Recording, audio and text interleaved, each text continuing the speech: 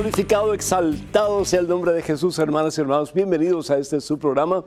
Conozca primero su fe católica, soy el Padre Pedro Núñez. Hoy, como de costumbre, pues tenemos un programa lleno de bendiciones porque cuando estamos reunidos en la palabra de Dios, pues ahí Dios llena, satisface, penetra, transforma, libera, sana con su palabra. Así que tenemos un programa muy interesante.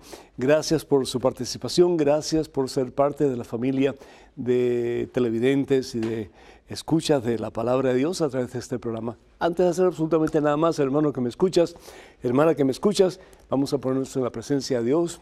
Nos ponemos en oración en el nombre del Padre, del Hijo y del Espíritu Santo. Amén. Padre bueno, Padre amantísimo, Gracias, oh Dios, por tantas y tantas y tantas bendiciones que por amor constantemente tú nos das. Gracias por el don poderoso, transformador de Cristo Jesús, tu Hijo nuestro Señor. Gracias por su dádiva, por su entrega generosa, total y completamente entregado, Señor. Entregado a nosotros en una cruz en el Calvario. Gracias Padre Santo, porque tanto nos has amado que diste a tu único Hijo. Por amor, Señor, por amor, para que creyendo en Él, como dice tu palabra, no muramos, sino para que en Cristo Jesús tengamos vida y salvación eterna. Gracias Padre, porque no somos merecedores, pero tu amor nos hace merecedores de tan magnánimo regalo. Gracias Padre Santo, porque nunca nos abandonas, mi Dios, porque nos haces saber, reconocer, sentir que siempre estás con nosotros y especialmente en los momentos más difíciles de nuestra vida. Tu Hijo, nuestro Señor Jesucristo, nos ha prometido nunca jamás dejarnos huérfanos. Reina, Señor, en el corazón de este Hijo tan amado por ti, que está viendo, que está escuchando en estos momentos. Llena, Señor, su corazón de santo gozo y de la certeza de saber que está en tus manos santas y poderosas. Bendice a esta hija tuya, Señor, que tanto tú amas, cuídala, protégela, defiéndela de todo mal. Y que en este momento tal vez de desilusión, de dolor, de sufrimiento, tal vez de enfermedad, Señor, que ella pueda sentir tu abrazo amoroso, tu abrazo transformador, tu abrazo, Señor, que nunca nos abandonas, ese abrazo, Señor, que nos hace sentir que no estamos solos, que tú estás con nosotros. Gracias, Padre Santo, por tu Hijo Jesús, por la dádiva de su vida, Señor, y particularmente, no solamente en la cruz, en el Calvario, que es la expresión más poderosa de tu amor, pero esa dádiva en cada Santa Eucaristía, esa dádiva que si nosotros quisiéramos podemos recibirla todos los días para que nosotros, muriendo nosotros mismos, podamos vivir una vida nueva en Cristo Jesús. Para que muriendo nuestro pasado, a nuestras ataduras, a nuestros pecados, a nuestra falta de fe, a nuestra falta de amor, a nuestra falta de perseverancia en nuestro caminar contigo, podamos comenzar una vida nueva, revestidos de ti, Señor, como dice tu santa palabra. Romanos capítulo 13, versículo 14, revístanse, revístanse, revístanse del mismo Jesús. Señor, que a través de la Santa Eucaristía podamos revestirnos de ti Jesús, mi Dios, que a través de la Santa Eucaristía podamos llegar a ser nada para que tú, mi Dios, llegues a ser todo en cada uno de nosotros. Y revestidos de ti, Señor, podamos influenciar positivamente, en una forma maravillosamente positiva a aquellos que están cerca de nosotros, para que ellos también se puedan revestir de ti, Señor, y tener de ti vida nueva y la posibilidad de un nuevo comienzo en todo el sentido de la palabra en su existir. Bendice, Señor, a cada uno de tus hijos y cólmanos, oh Dios, en este momento y en cada momento de nuestra vida, de tu santo amor, de tu santa paz, de tu santa presencia, de la dádiva de tu santa vida, Señor. A ti, Padre Santo, en Cristo Jesús, gloria, honra y honor por los siglos de los siglos. Amén, Señor. Bendito seas, mi Dios. Damos gracias a Dios, hermanos y hermanos, por tantos de ustedes que nos llaman, que nos escriben pidiendo oración. Créanme que ustedes eh, están siempre en nuestro corazón, en nuestras oraciones, y es un gusto, es un placer realmente acompañarlos en oración y unirnos a ustedes para que ustedes puedan ver las puertas, eh, las compuertas del cielo abrirse para ustedes y recibir múltiples bendiciones para gloria de Dios. Damos gracias a Dios por Nidia de Honduras que pide por Giovanni Enrique, que está esperando por un donante de riñón para su trasplante. Que el Señor te bendiga, mi hijo, y que pronto pueda ese sueño hacerse realidad. Por Verónica de México, que pide oración por la familia Cisnero Mora, a Pascual, eh, Rosalina, y también por Verónica, que Dios les bendiga a ustedes en abundancia. Isabel de México pide oración porque tiene cáncer y quisiera que oremos mm, por ella y por todos los enfermos, pues que el Señor te bendiga, amiga, y a ti y a todas las personas que están necesitadas de oración. Pedimos por ellos particularmente aquellos que tienen la enfermedad del cáncer, que el Señor remueva esas células cancerosas y las lleve a los pies de su cruz. También pedimos por Eduardo, que está en estos momentos eh, teniendo dificultades, me acaba de llamar hace un ratito, tiene problemas en su matrimonio, que el Señor lo bendiga y que si es eh, pues el deseo del Señor que ese matrimonio, eh, aunque es por lo civil en estos momentos, que pueda no solamente consolidarse en el matrimonio eclesiástico, pero que puedan ser cimentados como familia en la roca poderosa que es Cristo Jesús, el Señor. Angélica de Texas pide por su hijo Robert, que tiene diabetes y entró en depresión. También por Débora, que tiene problemas de alcoholismo, por la sanación interior y conversión y liberación de Susana. Por todos ustedes pedimos en forma muy especial abundantes bendiciones para todos.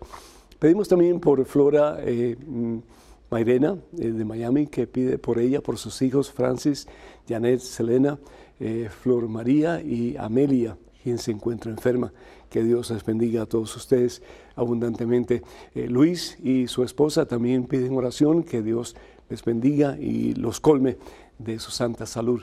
Socorro de Texas pide oración porque la diagnosticaron un aneurisma cerebral y está muy nerviosa y angustiada.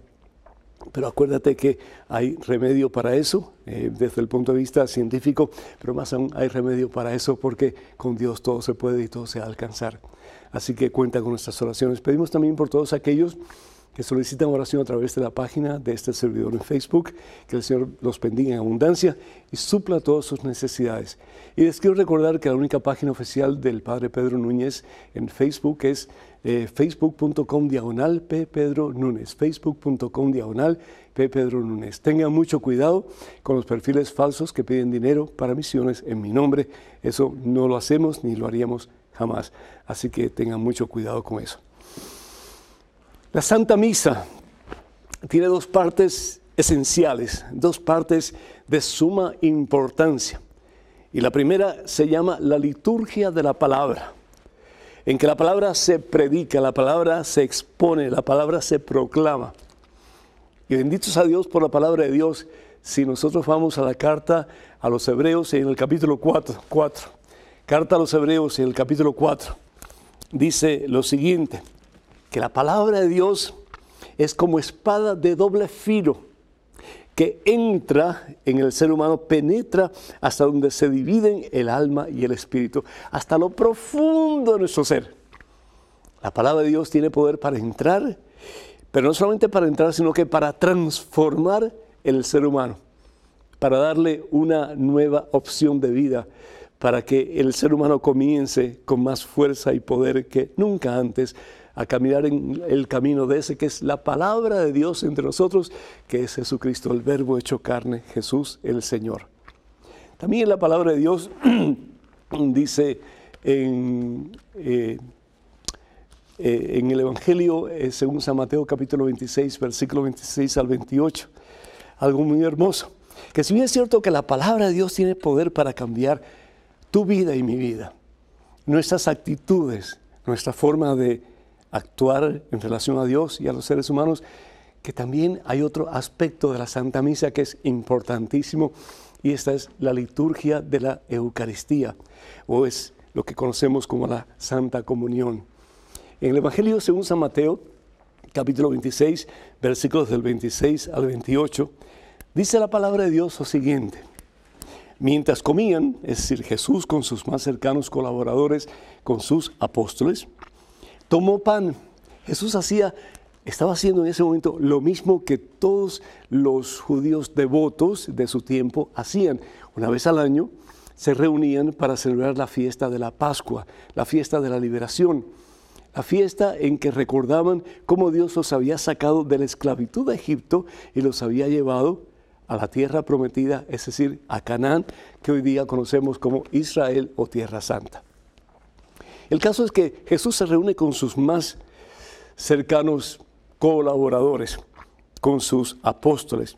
Y dice la palabra de Dios que mientras comían, y esto es capítulo 26, versículo 26 del Evangelio según San Mateo, Jesús tomó pan, pronunció la bendición y lo partió lo partió y se lo dio a sus discípulos diciendo, tomen y coman, esto es mi cuerpo. Esto es algo poderoso, hermanos. Los judíos nunca hubieran hecho algo por el estilo.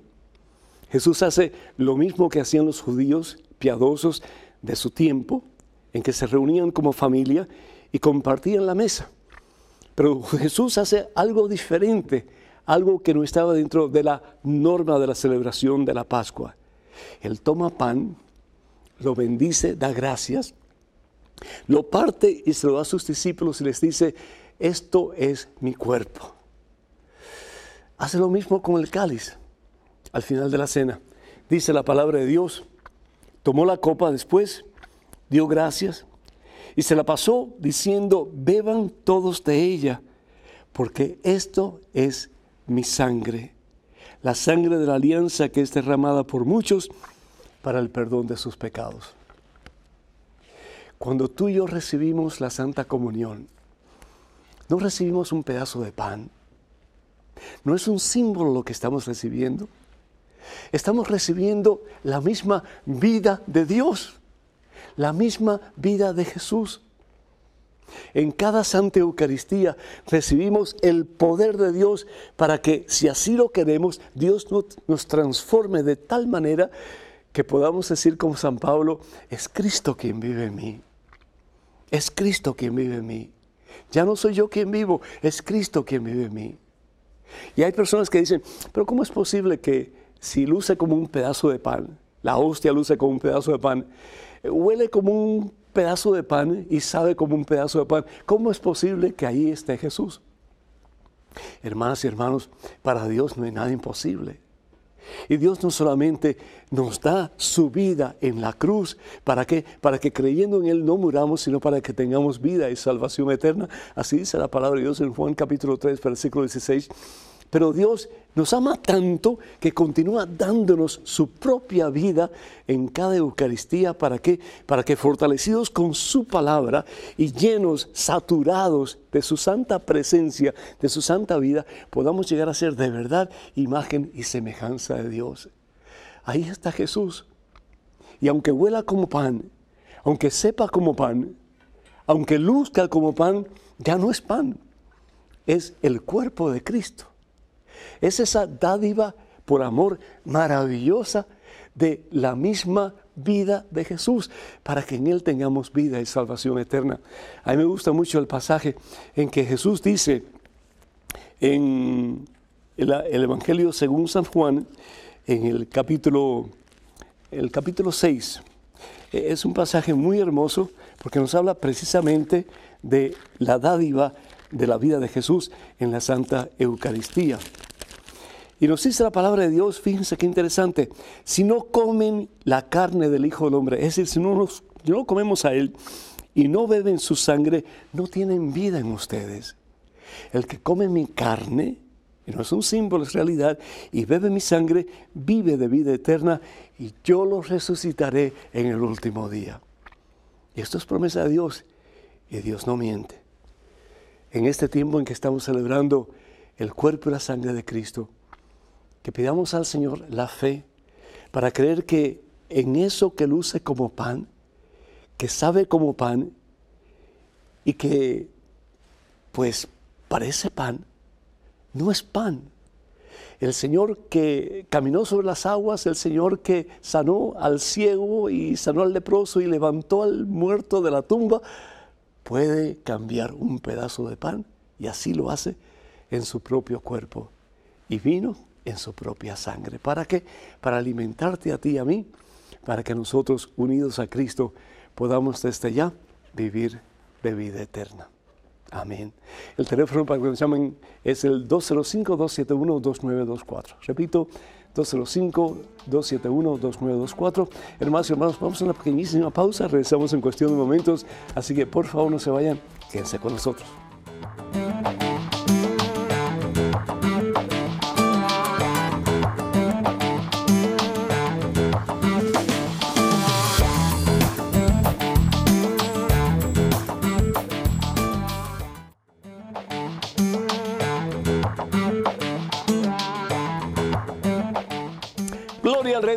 Gloria al Señor de señores, hermanos y hermanos. Qué gusto estar con ustedes en este segmento de su programa Conozca Primero su Fe Católica. Soy el Padre Pedro Núñez. Tenemos en estos momentos una llamada vía telefónica de Rosa desde California. Rosa, ¿me escuchas? Sí, Padre. ¿Cómo estás, Rosa? Bendecida, Padre, ¿y usted? Bendecido también, Rosa, y gracias por tu llamada. Adelante, por favor. Este, Padre, tengo una, una pregunta. Este, siempre se ha mencionado este este el, la persona el, el buen ladrón que fue crucificado con, con Jesús nuestro Señor. sí. pero siempre yo he tratado de buscar en la Biblia eh, dónde viene su nombre porque muchos lo mencionan con un nombre. Ahorita pues no me recuerdo cuál es el nombre pero siempre he oído que lo mencionan con su nombre. Entonces yo he tratado de buscar esa parte en la Biblia no sé si usted me puede aclarar esa, esa pregunta. Sí, eh, con todo gusto, Rosa. La palabra de Dios pues habla de dos mm, criminales que fueron crucificados con Jesús. Y nos dice la palabra de Dios que uno de ellos, a quien se le atribuye el nombre de Dimas, eh, y que se le conoce también como el buen ladrón, le dice a Jesús, acuérdate de mí cuando estés en tu reino. Y Jesús le dice, te aseguro que hoy mismo estarás conmigo en el paraíso. En otras palabras, la Biblia, eh, los evangelios que aparecen en la Santa Biblia, ninguno de ellos menciona el nombre de esa persona. Eh, ese, nombre aparece en evangelios apócrifos, es decir, evangelios que no fueron aceptados ni por la comunidad eh, primitiva cristiana, ni tampoco por la iglesia cuando declaró ciertos libros como palabra de Dios que fue en el concilio de Cartago. Entonces realmente no sabemos cómo se llama esa persona. De nuevo, eh, estos eh, evangelios, algunos de ellos que son evangelios apócrifos, que fueron escritos alrededor del siglo II, mucho después de los cuatro evangelios que aparecen en la Santa Biblia, pues mencionan el nombre de Dimas.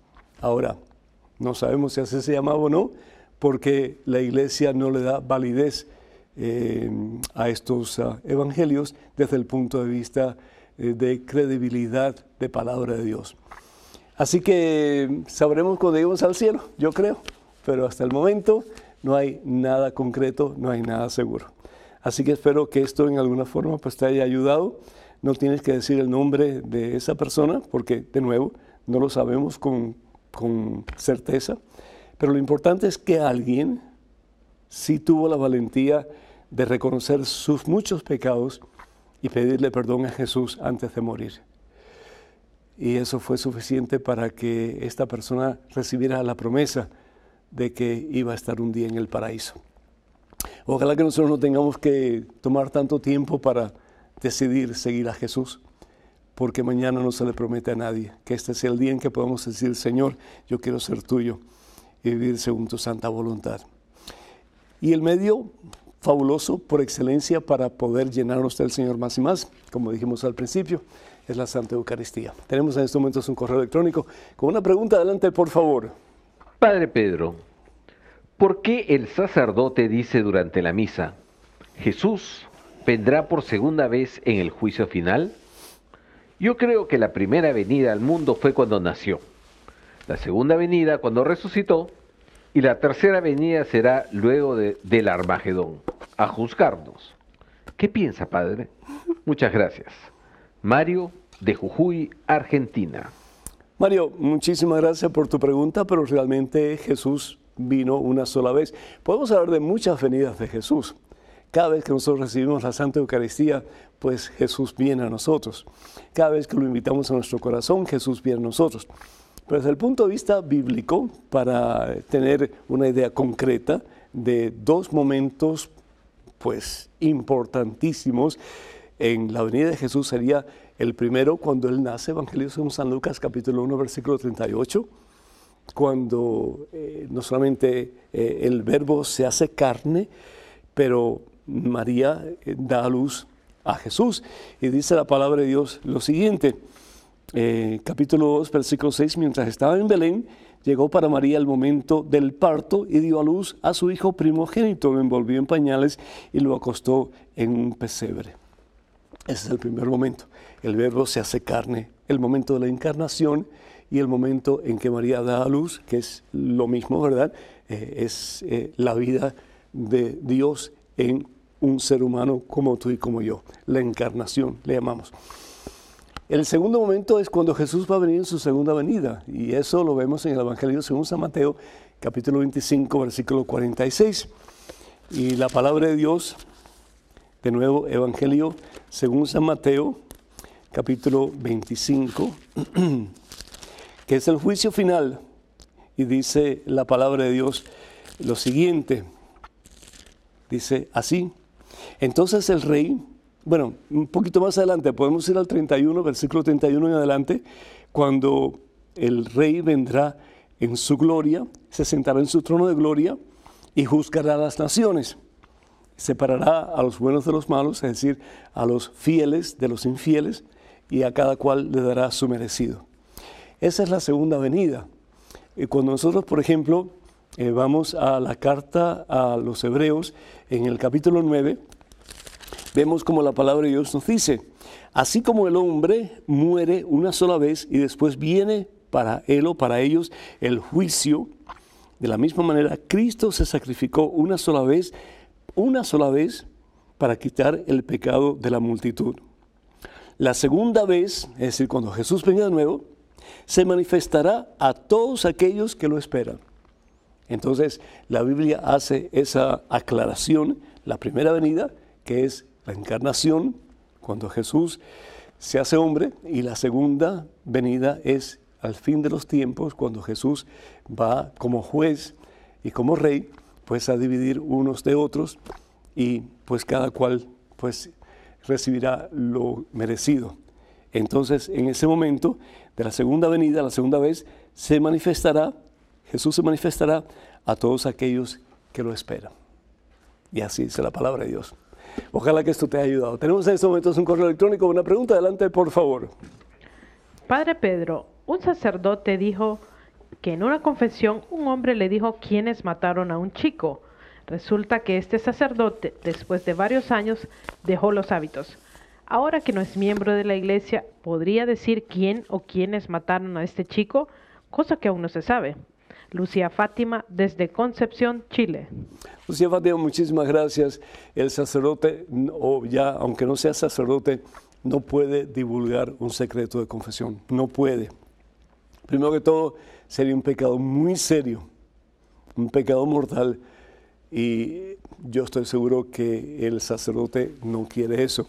Y lo segundo que es importante es que ese sacerdote o ex sacerdote o cualquier persona que haya sido consultada o que haya recibido un penitente que ha confesado un crimen o cualquier otro pecado, y no solamente un sacerdote, puede ser un psiquiatra, puede ser un médico, ¿verdad? Que se diga algo en secreto. Esa persona eh, tiene el deber, de acuerdo a su profesión, de no divulgar ese secreto. Imagínense ustedes si uno va a un psiquiatra y tiene un problema serio mm, de tipo emocional y el psiquiatra empieza a decirle a todo el mundo lo que le está pasando a fulano o a mengano eso, eso sería horrible porque todo el mundo perdería eh, confianza en esa persona. Lo mismo y aún más todavía el sacerdote tiene que guardar el sigilio, es decir, no puede decir a nadie lo que se le dice en confesión. Y yo conozco de casos en que pues el sacerdote eh, lo han presionado para que diga quién es el culpable y no puede, no puede, no puede decir. Así que si de algo podemos ser completamente convencidos es que lo que le decimos al sacerdote, eso es una tumba totalmente sellada. El sacerdote tiene que ser como esa tumba sellada de la cual no se le puede sacar ningún tipo de secreto o información. Así que eso es importante que se sepa. Que Dios te bendiga. Un correo con una pregunta. Adelante, por favor. Padre Pedro, algunos evangelios apócrifos dicen que San José, esposo de nuestra Santísima Virgen María, estuvo casado antes y tuvo hijos, y además que murió a la edad de 111 años. Creo que la religión ortodoxa acostumbra celebrar esta historia de José el carpintero, que es del siglo VI aproximadamente. Al morir, al morir su esposa, se casó con María, madre de Jesús. ¿Esta información es cierta a pesar de ser un evangelio apócrifo? Es decir, no aceptado en el evangelio canónico. Cristian de Upala, Alajuela, Costa Rica. Cristian, eh, interesante ese eh, es, ese aspecto fantástico sobre la vida de José. La pregunta es si, primero que todo, no aparecen los evangelios, ¿cierto? Entonces estás hablando de evangelios apócrifos, que quiere decir que no son ni fueron en ningún momento aceptados por la iglesia como palabra de Dios.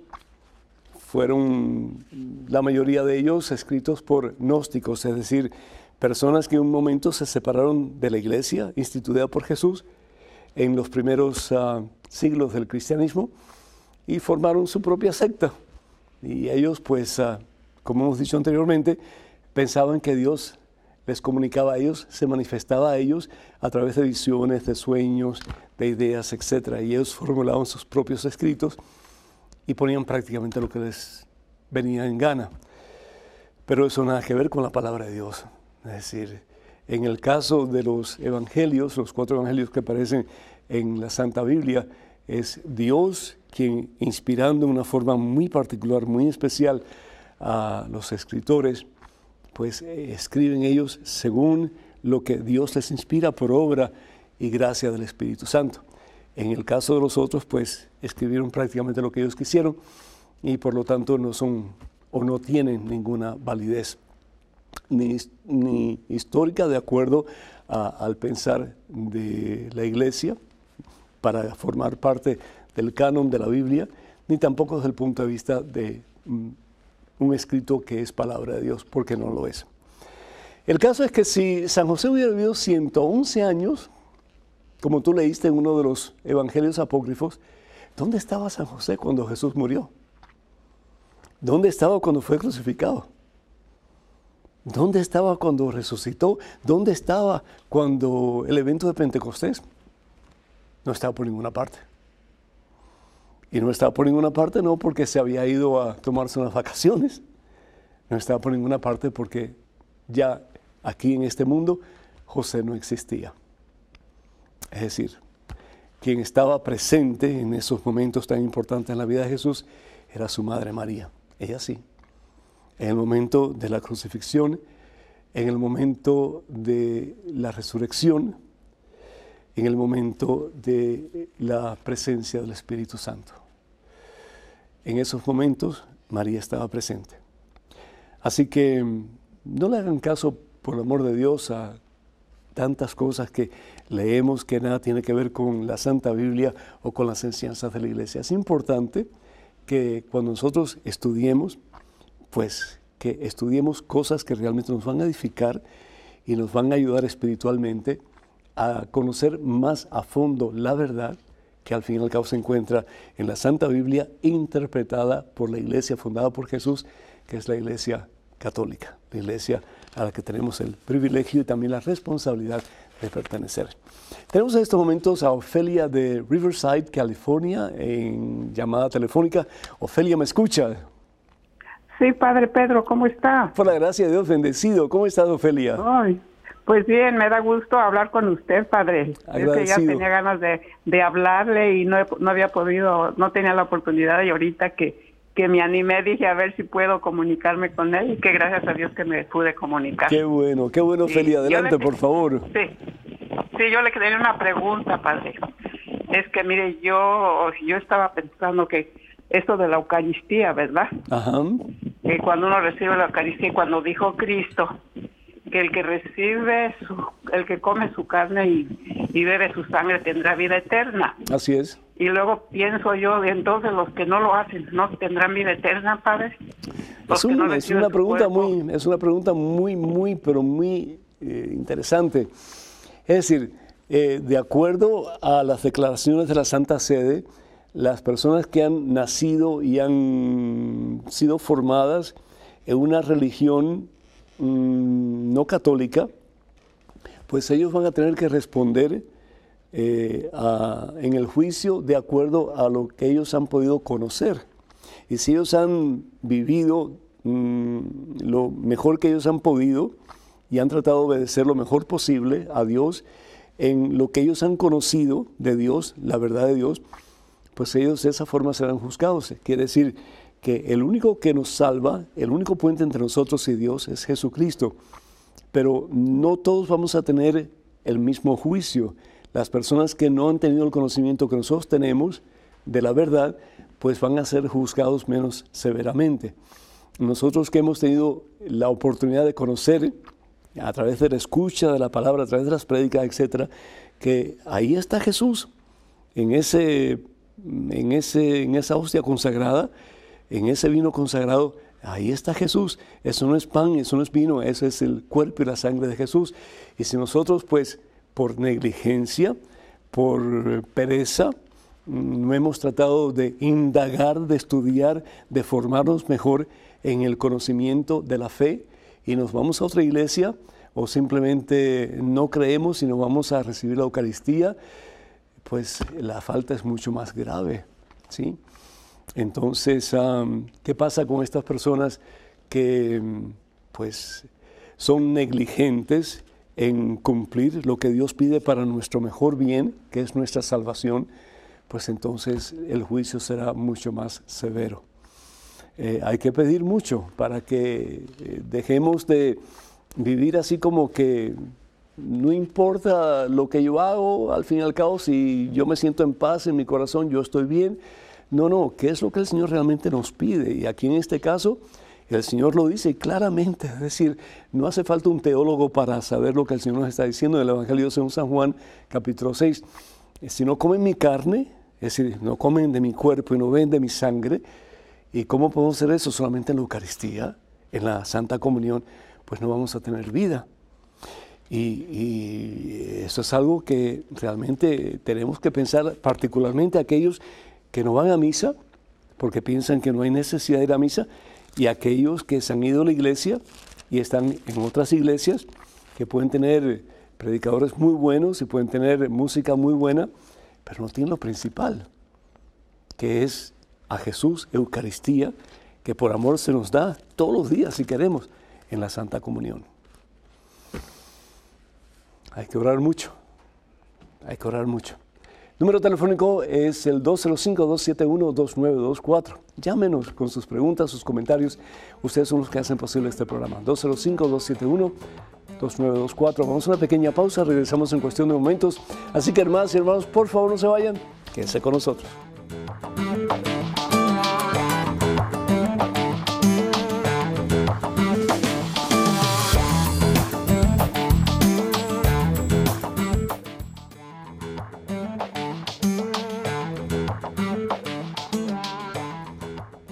Gloria al Rey de Reyes, gloria a Jesucristo, que Jesús viva con más fuerza y poder en tu corazón y en el mío desde este momento en adelante. En estos momentos, hermanas y hermanos, tenemos un correo electrónico. Adelante, por favor, con la pregunta.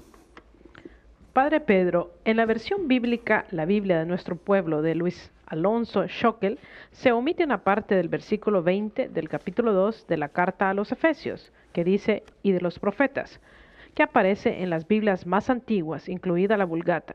Doy clases de iniciación a la Biblia y tengo la duda de por qué quitaron esa parte en esa traducción. ¿Será omisión de imprenta o modificaron el contenido doctrinal? Gracias. Julieta. Que Dios te bendiga, Julieta, y muchísimas felicidades, muchísimas felicidades por eh, compartir la palabra de Dios con las personas que están siendo formadas por ti. Y gracias por tratar de indagar dónde está realmente eh, la verdad. Si vamos a la carta de San Pablo a Efesios, y es una de las cartas que aparece en el Nuevo Testamento, eh, ellos estaban en Éfeso, y por cierto, no hace mucho tiempo atrás, pues fuimos por allá, por Éfeso, en un peregrinaje. Pero en esa carta a los Efesios, San Pablo escribe lo siguiente en relación a ellos, a esta comunidad. Así pues, ya no son extranjeros ni huéspedes, sino ciudadanos de la ciudad de los santos. Es decir, para San Pablo una persona bautizada ya era santo. ¿Por qué? Porque era residencia de la presencia de Dios, era residencia del Espíritu Santo de Dios. Dice, ustedes son la casa de Dios. Qué hermoso, ¿cierto? Ustedes son la casa de Dios, donde reside Dios. Están cimentados en el edificio cuyas bases son los apóstoles y profetas, y cuya piedra angular es Cristo Jesús. Entonces, en esta Santa Biblia, que es la latinoamericana, aparece esos dos nombres, apóstoles los apóstoles son, como hemos dicho, los discípulos más cercanos de Jesús y también los profetas, mm, particularmente del Antiguo Testamento. Y claro que tenemos profetas en el Nuevo Testamento, porque cuando somos bautizados somos incorporados en Jesús, que es profeta, rey y sacerdote. Entonces participamos de, de, ministerio de Jesús en ese sentido. ¿Por qué eh, en el caso que tú me presentas no está la palabra profetas, realmente no lo sé. Me imagino yo que tiene que haber sido una falta de imprenta. Pero también tenemos que estar conscientes de que a veces cuando se copia o se copiaba en forma de manuscrito de un manuscrito a otro, pues algunas palabras podían ser omitidas sin querer, no, no era a propósito sin querer, o simplemente se le da un significado algo diferente.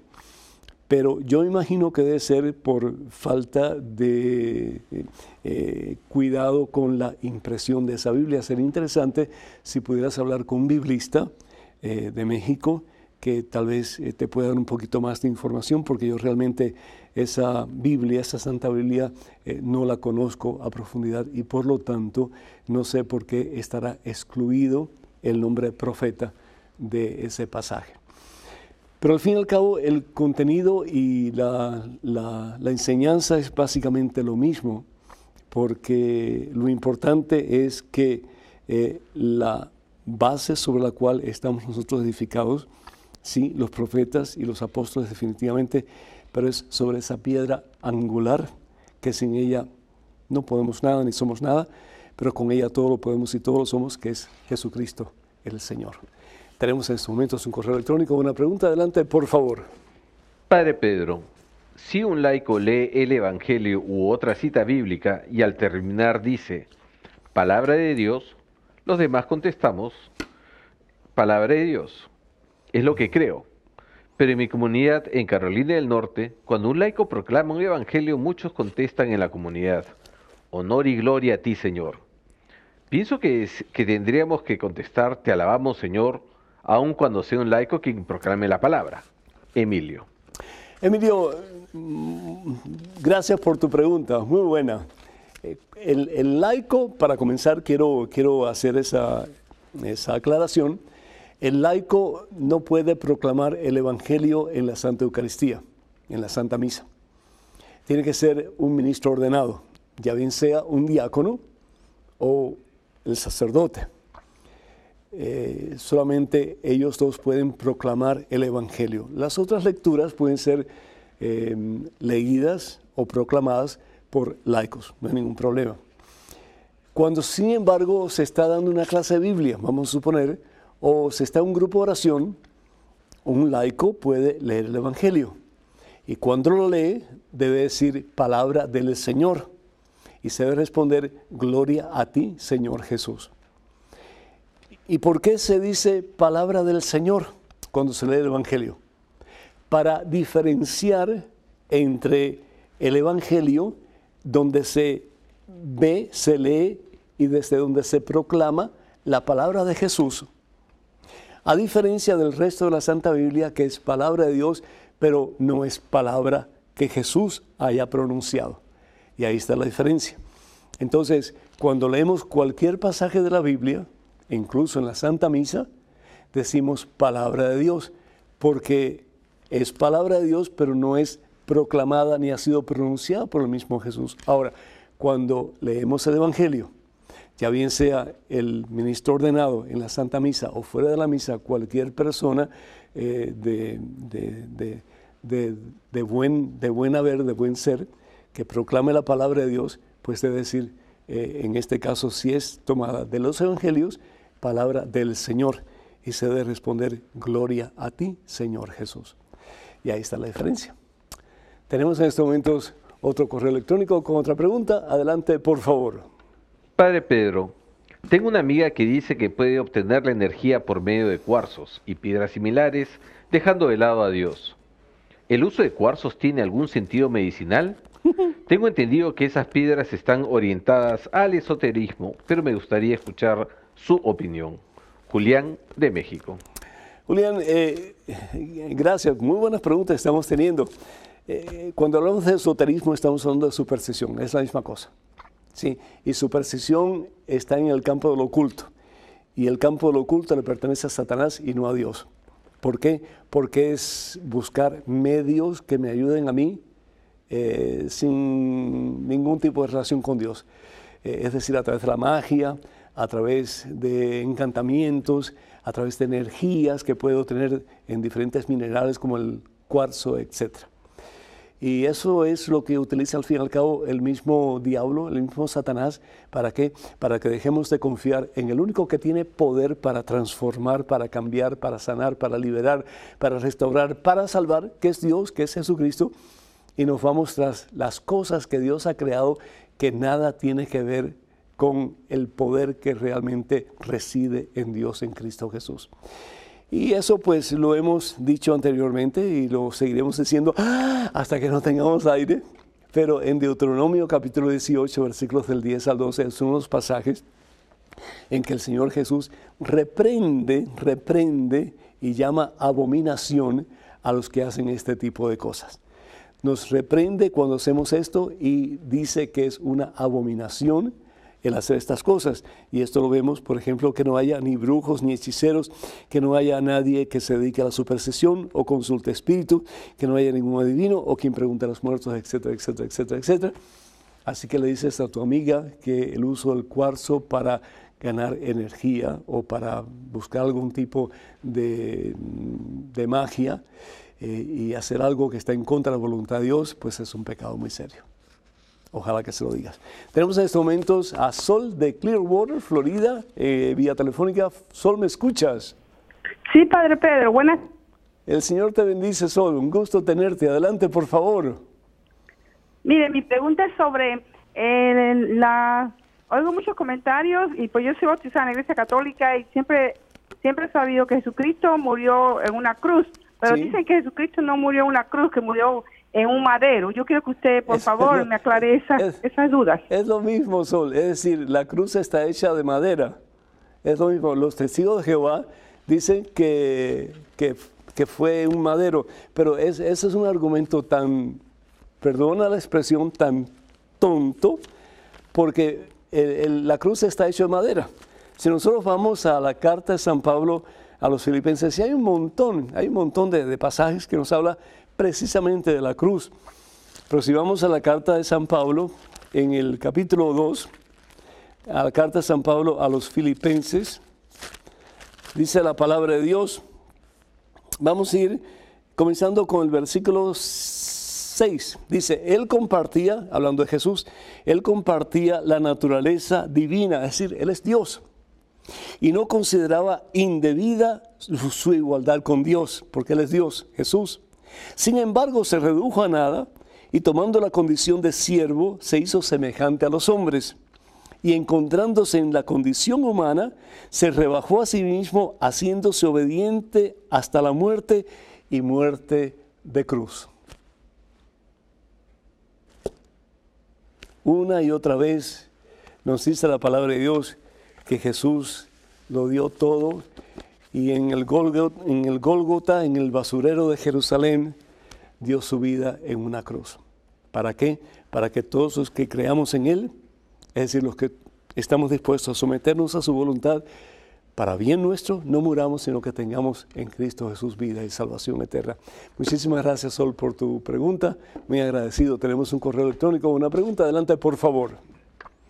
Padre Pedro, he oído que nuestra iglesia se deriva de los judíos, pues Jesús lo era.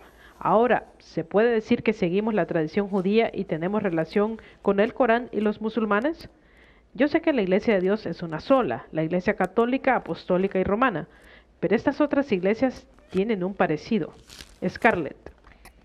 Scarlett, primero que todo, nosotros eh, somos como una extensión del judaísmo.